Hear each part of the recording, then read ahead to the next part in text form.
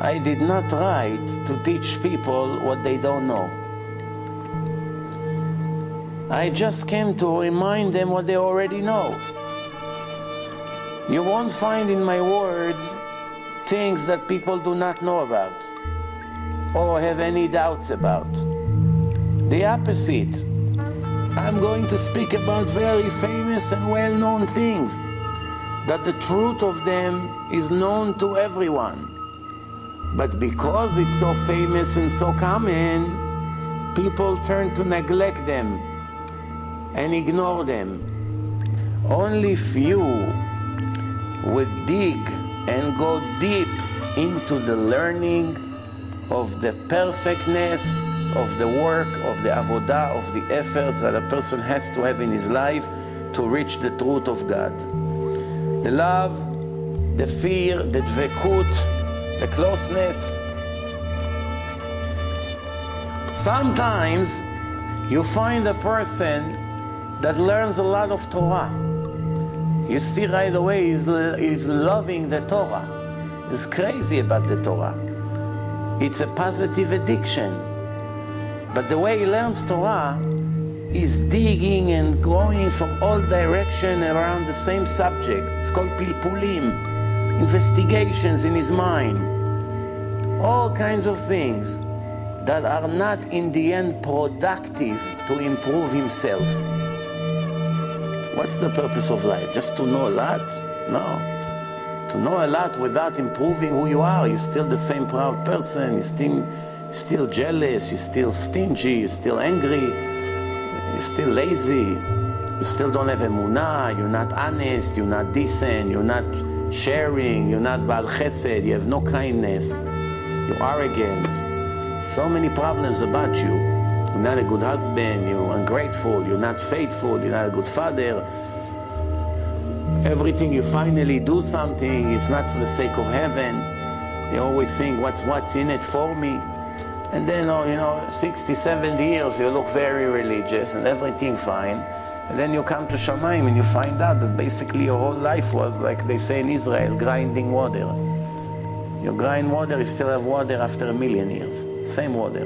You grind, grind, grind, but you really did not achieve anything. But what do you mean, Hashem? I finished the Shas 50 times, the Talmud. It took me a few years every time. From morning to night, all day, digging, smoke coming out of my ears. Very nice. And you're going to get reward, reward for that. But the ultimate purpose of life, you really hardly touched. If you're going to search for it, for what? for the ultimate level that you can reach in this life with your relationship with God, with your Creator, if you finally decided to search for it, it's already a big step. Most people don't search for it. They live in total darkness. Have no idea what they do here. 70, 80 years, such a one big lost life. Not one man, not one productive minute in their entire life. Not one positive moment in their whole life. 70 years eating, drinking, running, driving, sleeping, waking up, making money, doing, crying, laughing. Everything in the end was one total waste of time. Did not touch one second their mission that the Creator put them here for. What a tragedy. The biggest tragedy possible. No, there's no bigger tragedy than this for the individual and for us as a nation. If you collect all the small tragedies, all the individual tragedies, and combine them together, it's a one huge national tragedy. Each one of us. If you don't do it, nobody will do it for you. Nobody will do it for you. Remember, nobody will make you humbled. You only can make yourself humble. Nobody will make you. Nobody will make you generous if you won't work on it. Nobody will make you honest if you don't kill yourself to become honest. How you become honest? You improve your faith. The more faith you have, the more emunah, the more honest and generous you are. One comes out of the other. If you don't have emunah, you'll never be generous. If you don't have emunah, you'll never be honest. You always cheat. You don't believe that it's 100% what Hashem wants to give you, and that's it. And there's no point of stealing, cheating, lying, deceiving. What's the point? Stealing for myself? If it's mine, it's mine. If it's not mine anyway, it's gonna leave me. So what's the point? It's like one person who steal from one pocket and put in the other pocket and thinks he got away with it. If it stayed by you, it was yours to begin with. And if not, it will never stay by you. If you finally decided to search it, King Solomon says, do it like a person who searched for a treasure. אז תבין יראת השם. You finally decided to search for the truth and for the right direction in life. ואתה ישראל, and now Israel, מה השם אלוקיך שואל מעמך? What is your God asking from you? To fear God, to follow all His ways, to love Him, to serve Him with all your heart and all your soul. First, fear your God. ליראה את השם אלוקיך.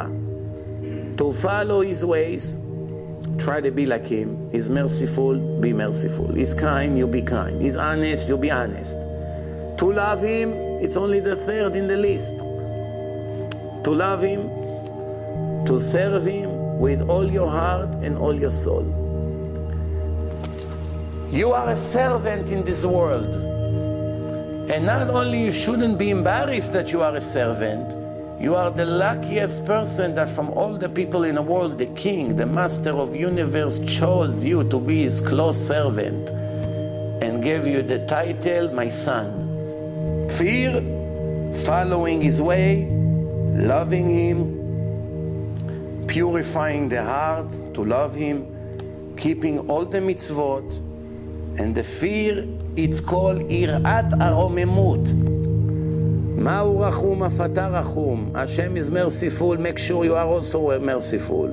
Every good thing about Hashem that you know about, right away imitate Him. Everyone who goes to the right direction, establishing the Torah, he makes great satisfaction in front of Hashem, in front of God. And his heart is waking up and he satisfies his father and his mother who passed away from the world and he will be very happy, very complete that he has the merit to do it. And this is the perfectness of the heart. It will be pure, clean heart with great intention. Attention and intention. That I only do what I have to do now because Hashem told me, and that's all my mind is. I'm serving Hashem right now. Please do not disturb me not with money, not with job offers, not with shidduchim, not with nothing. Right now I'm very busy. When I do mitzvah, I don't want to hear anything.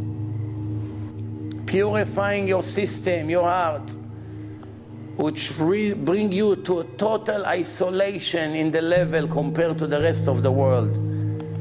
And this isolation bring you to purity which will get you to Midat Hasidut. You go above righteousness to the ultimate goal. And that righteousness, this Midat Hasidut, make you humble. Because you know, I don't deserve big credit for it. And being humbled eliminate making sins. You won't make sins because you are humble. And making sins and, and being humble and not making sins elevate your holiness and elevating your holiness bring you to a level of a prophet ruach hakodesh that you begin to see things that other people don't see and ruach hakodesh מביאה לידי תחיית המתים and this prophecy this ruach hakodesh brings to the resurrection of the death And each one of these details that we will get the level of fearing God and remember our obligations towards Him. That the material addictions, the materialistic addictions around us, always remove this knowledge and understanding from our hearts. What's the biggest enemy of a Jew on the way to get to the top level in Hashem's pyramid, in God's pyramid, the materialistic desires, food, women, movies, sport, baseball, football, this player, that player, this car, this watch, this party, sushi, steak, barbecue. That's the biggest enemy. And almost nobody feels that way. Ah, fanatic. Why not to enjoy life? Enjoy. You can't get close to Hashem because you're addicted to it. It always comes before the goal. Cannot do what needs to be done. Why? He's busy with his addictions. It's all of us like this. The materialism of nature, removing it from our heart and confuse us with our research to get and find the truth. And our foolishness, our foolishness cause us to lose everything. And this is what Hashem say, this is what David HaMelech wrote in Tehillim, Oreni Hashem darkecha ahalech ba'amitecha. Show me Hashem your way, that I can walk through the aisle, the truth of yours. The truth. Show me the right aisle to enter. This aisle, this aisle, this aisle, millions of aisles. Which one is the aisle of the truth, of the ultimate way to get to you? יחד לבבי ליראת שמך. Dedicate my heart to do only one thing. What is it? To fear you. Nothing else. I don't want my heart to be busy with anything else in life. Only one thing I want my heart to be good with. King David wrote. What is it? Fear you. If I fear you, I know I'm going to reach the highest level.